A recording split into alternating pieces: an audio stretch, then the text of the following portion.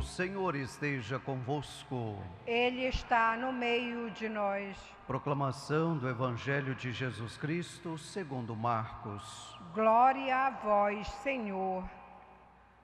Naquele tempo, Jesus se manifestou aos onze discípulos e disse-lhes: Ide pelo mundo inteiro e anunciai o Evangelho a toda criatura. Quem crer e for batizado será salvo, quem não crer será condenado. Os sinais que acompanharão aqueles que crerem serão estes: expulsarão demônios em meu nome, falarão novas línguas, se pegarem em serpentes ou beberem algum veneno mortal, não lhes fará mal algum. Quando impuserem as mãos sobre os doentes, eles ficarão curados.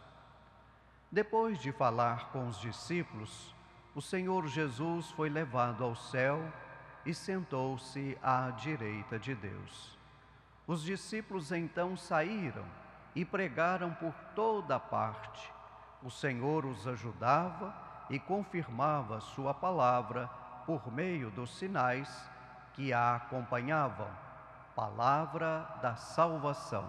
Glória a vós, Senhor.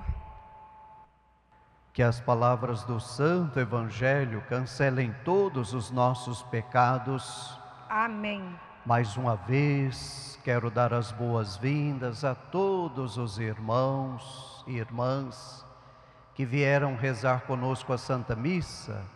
Sejam todos muito bem-vindos, bem-vindas à casa de nossa mãe, a Virgem de Nazaré, também nossa casa. E um bom dia especial a você, meu irmão, minha irmã, que reza conosco através dos nossos meios de comunicação, a Rede Nazaré de televisão e também a Rádio Web Basílica, a qual você pode sintonizar através do portal nazaré10.com.br. Também uma saudação especial a você, meu irmão, minha irmã, internauta, você que nos acompanha em vários lugares do planeta através da rede mundial de computadores. A você e a sua família, o nosso abraço fraterno, o nosso carinho e o nosso muito obrigado por sua companhia durante as celebrações transmitidas pelos nossos veículos de comunicação a todos vocês mais uma vez uma abençoada, santa e frutuosa semana. Irmãos e irmãs, quero começar a nossa reflexão de hoje com uma historinha. E eu sei que muitas pessoas neste momento estão lá ansiosas, aguardando as historinhas contadas pelo Padre Francisco. E a historinha de hoje é inédita, ela nunca foi contada aqui. Certa vez, um homem montado em seu cavalo, ele vinha por uma estrada e ao seu lado o seu cachorro de estimação. Mas depois de caminharem bastante, o homem, o cavalo e o cachorro perceberam que haviam morrido num acidente. É que os mortos, às vezes, demoram a entender que morreram. Porém, a caminhada dos três estava sendo acompanhada por um forte calor, um sol bastante escaldante, e eles vinham caminhando por um terreno bastante montanhoso, difícil de ser trilhado. E claro, devido ao sol, devido ao calor, a sede foi apertando, tanto o homem, quanto o cavalo e quanto o seu cachorro de estimação. Num determinado ponto, em uma curva da estrada, eis que os três avistaram uma espécie de um portão um portão todo de ouro e uma estrada que ficava de lá do portão, uma estrada toda cheia de mármore e com alguns adornos de ouro. E lá na frente, eles avistaram uma fonte de água cristalina. E quando se aproximaram do portão, eles viram a guarita e lá dentro um guarda. Então o homem perguntou para o guarda: Que lugar é este? Então o guarda disse: Aqui é o céu.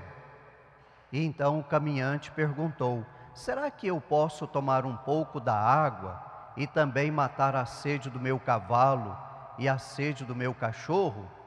Então o guarda que estava na guarita disse: Não, somente você é que pode entrar e tomar água. Aqui não se permite a entrada de animais.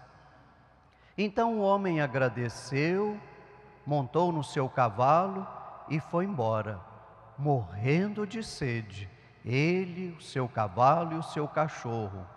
Caminharam mais um pouco e a sede, claro, apertando cada vez mais, até que eles avistaram uma espécie de um sítio, uma porteira velha, e de lado da porteira havia uma estrada toda empoeirenta, e de cada lado da estrada várias árvores frondosas que proporcionavam a sombra agradável.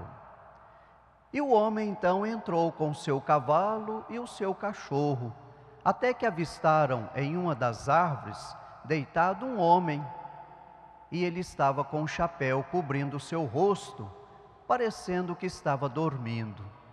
Então o cavaleiro chegou e perguntou: Bom dia, moço. E o homem respondeu: Bom dia. E o cavaleiro perguntou: Escuta, será que eu posso tomar água e também matar a sede aqui do meu cavalo e do meu cachorro? E o homem disse: Claro, logo à frente você vai encontrar uma fonte de água de águas cristalinas entre as pedras, vá e tome à vontade. Então o homem foi, tomou água, deu água para o seu cavalo, para o seu cachorro, e voltando agradeceu aquele homem, muito obrigado. Então o homem, colocando o chapéu na cabeça, lhe disse: Fique à vontade, todas as vezes que você tiver sede, tanto você, o seu cavalo e o seu cachorro, venha até aqui a esta fonte, ela está à disposição de vocês. Então o cavaleiro perguntou: Que lugar é este? E o homem respondeu: Aqui é o céu. Então o cavaleiro disse: Deve ter algo errado, pois agora há pouco encontrei um lugar, um portão de ouro, um piso cheio de mármore, e encontrei um guarda e perguntei que lugar era aquele, e o guarda me disse que era o céu.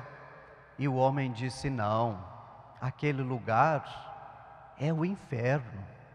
Então o cavaleiro perguntou: Mas esta informação errada deve causar muita confusão na cabeça das pessoas. E o homem disse: Não, pelo contrário, eles nos fazem um grande favor, pois aquele que não se preocupa com seus amigos, ele os deixa do lado de fora. Moral desta historinha, meu irmão, minha irmã, nenhuma caminhada é longa quando se tem bons amigos para nos ajudar a trilhá-la. Assim é o que nos diz a primeira leitura de hoje da carta de São Pedro. Veja que Pedro, ele procura encorajar os discípulos de nosso Senhor Jesus Cristo através da prática da humildade, da sobriedade e da prontidão.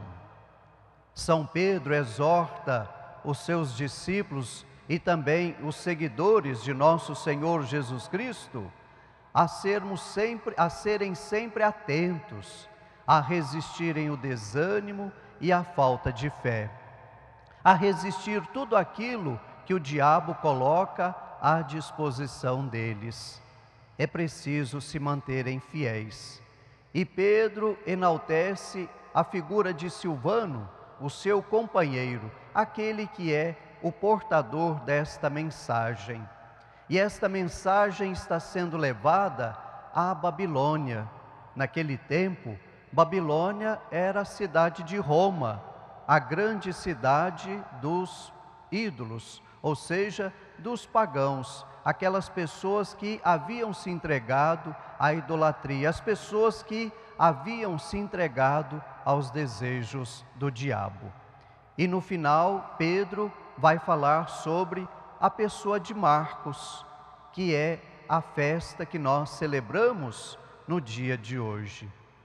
Marcos, provavelmente, o seu evangelho é escrito de acordo com o relato que ele obtém de Pedro e também de Paulo, e claro, de Barnabé. Marcos é este evangelista cujo texto é o menor de todos os evangelhos, apenas 16 capítulos.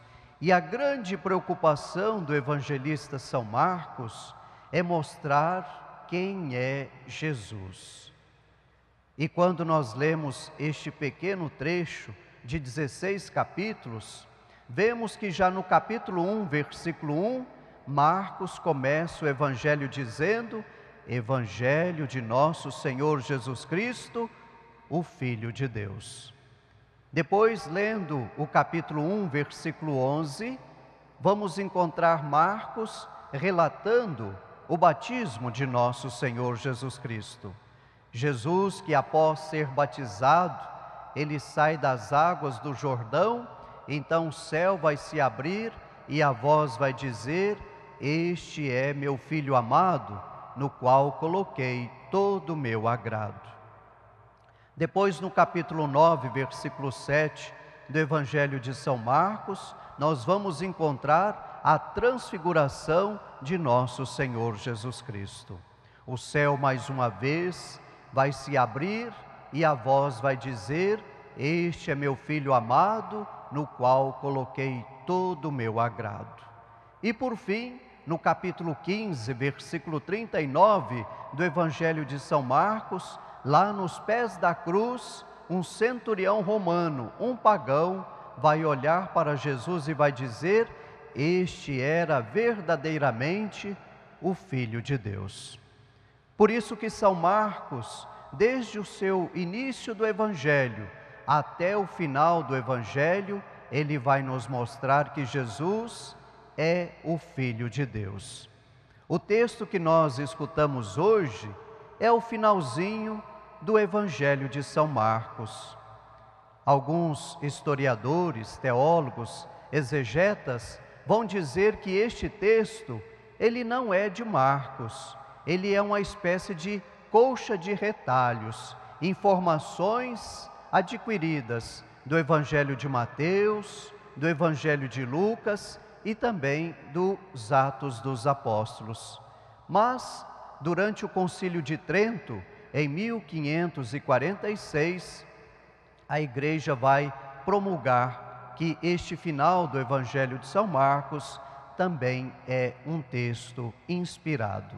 E é interessante notar o finalzinho deste texto que Jesus ele vai animar os seus discípulos no sentido de que se vocês pegarem serpentes ou tomarem venenos, isto não lhes fará mal. Aqui Jesus está querendo dizer que o pegar em serpente é que todo aquele e aquela que anuncia a palavra de Deus, ele não vai ser surpreendido pelas traições principalmente aquelas vindas dos falsos amigos.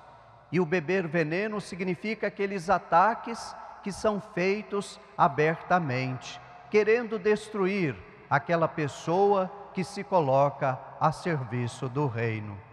Portanto, meu irmão, minha irmã, se nós queremos ser verdadeiros amigos e amigas de Deus, nós precisamos nos mantermos firmes na nossa fé e principalmente no propósito de sermos os continuadores do anúncio da palavra de Deus até os confins da terra. Pois, como nos disse o evangelho de hoje, Jesus dá um mandato para os seus discípulos de seu tempo, mas também para os discípulos de nosso tempo. Ide por todo o mundo e anunciai a boa nova a todas as criaturas. Eis aí o compromisso de todos os batizados e todas as batizadas, os verdadeiros amigos de Deus, aqueles que sabem discernir o que pertence ao diabo e ao que pertence a Deus. Louvado seja nosso Senhor Jesus Cristo. Para sempre seja louvado.